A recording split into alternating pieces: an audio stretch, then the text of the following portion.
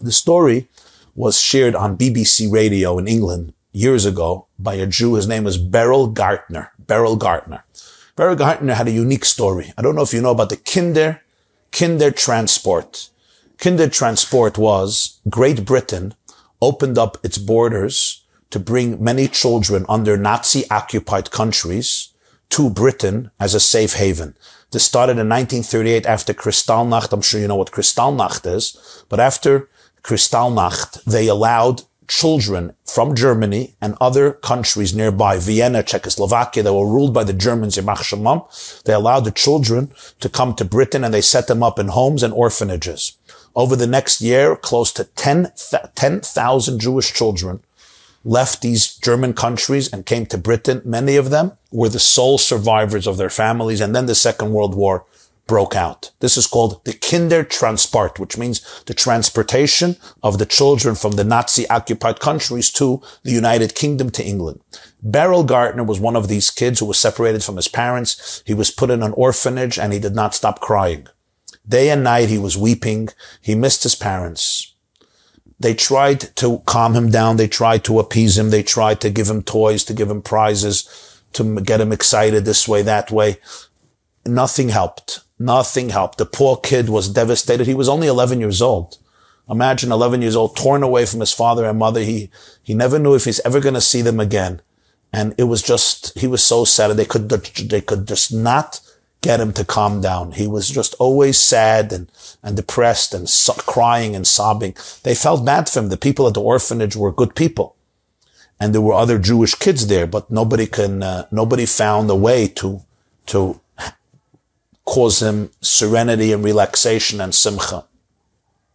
One day, the news came to the orphanage that King George VI is going to uh, travel past their village. He liked to visit the different uh, kinder transports, the different children that were saved, and he liked to visit his subjects in in Britain. And he's going to come by. He's going to he's going to travel by the village, and every, obviously everybody will come out for this parade, for this procession, and salute the king, and cheer for the king, and sing for the king, and and uh, and express appreciation to the king. King George VI was the king of England from 1936, which is four years before the Second World War, and three years, four years, and he died in 1952. 1952. That's why Queen Elizabeth has been a queen for very, very, very many, many years, because King George uh, died in 52. In any case, so when Beryl heard, Beryl Gartner heard that the king is coming, he calmed down. He stopped crying. They were wondering why. He stopped crying. He had a little secret.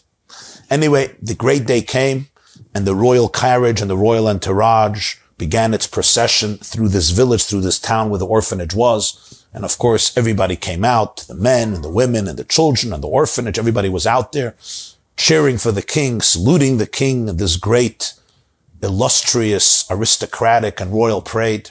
And there were barricades as they do. You know, the police put out barricades to be able to hold back the crowds as the royal carriage passed through the main road. As the king passed by Beryl, Beryl Gartner, this 11 year old kid, he jumped through the barricades unleashing his full power, not looking right, not looking left. He ran. He didn't run. He flew like a rocket. He flew to the carriage. He flew to the carriage and tried leaping, jumping onto it where the king was sitting. Of course, the royal guards, the bodyguards was a king, saw this and this could not be tolerated. Who knows what, even though he was a little kid, but who knows what he can do to the king. Who knows what's in his head? Does he want to hit the king? Does he want to uh, push him? Does he want to kill him? So they grabbed him. They grabbed him, and they they held him tight. And he was screaming, "I want to see the king!" And the king heard the commotion. So he turned to his bodyguard and he said, "What's going on there?"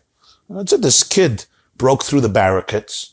And he tried leaping up on your wagon, on your carriage, so we stopped him. The king said, let him come over. And he was granted permission to face King George VI. And the king said, you wanted to see me. What's going on? And instead of speaking, he burst out crying. And he said, I thank you for saving me from Germany, but I miss my parents and I'm afraid that they're going to die. Please, can you bring my parents here to be with me? And the king looked at him with compassion and he said, I'd love to, but the war broke out. We are at war with Germany. I can't bring your parents here. And the boy looked at him and said, but you're the king of England. You can do anything. I'm sure that you could bring my parents here if you really want. And the king said, what are the names of your parents? And he gave the king the names of his parents and he's told him where they live. And the king said, let me see what I can do. And the boy thanked him and he went back to the orphanage, not knowing what to expect. A few months later, he was called in to the office of the head of the orphanage. He thought he was going to be reprimanded. He thought he would be punished very, very severely for what he did. You know, you don't do this. He broke all the rules. But they never punished him. But now he was called in. He thought, oh, yeah, yeah, yeah, yeah. What happens now? And the man told him that the king was very impressed and moved by your request. And he decided to send you a gift. He said, what's the gift? And the man opened the door and his parents walked through the orphanage. King George VI managed to rescue them and get them out of Germany and bring them to Great Britain. Beryl was reunited with his mommy and his tati. And when I read the story, I thought to myself, you know, the Baal HaTanya, the Alter Rebbe, Rabbi Shneur Zalman of Liadi, teaches that the days and weeks before Rosh Hashanah, the king is not in the palace. Where's the king? He's in the fields. He's in the villages. He's in the farms.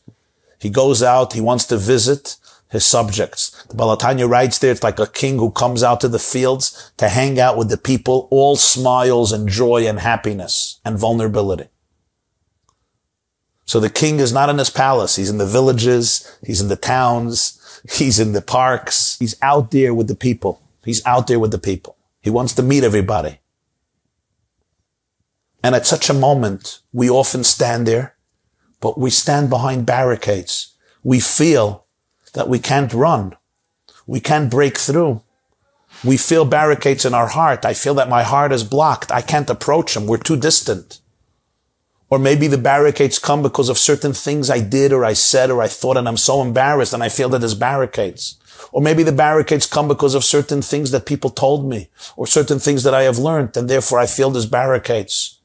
And I say to you, dearest, dearest Talmidais, special, special girls, children of Hashem, jump through the barricades. Don't stop. Jump through the barricades. Get on that wagon. The bodyguards may want to stop you, but the king wants to, he wants you there and ask him for whatever you want. Ask him to be reunited with your deepest self and reunited with everything you want to be reunited. And don't be afraid. Just be there, be raw and be real and be vulnerable, heart to heart. Remember Hashem's love to you is absolutely limitless. There's no boundaries. He wants to hear everything you have to say. And if there's barricades, look at the barricades and say, bye bye barricades, leap forth this Rosh Hashanah onto the divine carriage. We say four times Ubechain in Shemona Esra. And the fourth one comes from the Bechain in Megillus Esther, Ubechain Avay Elamelech Hashaloi Chadas. Esther said sometimes you got to go to the king even if you're not called.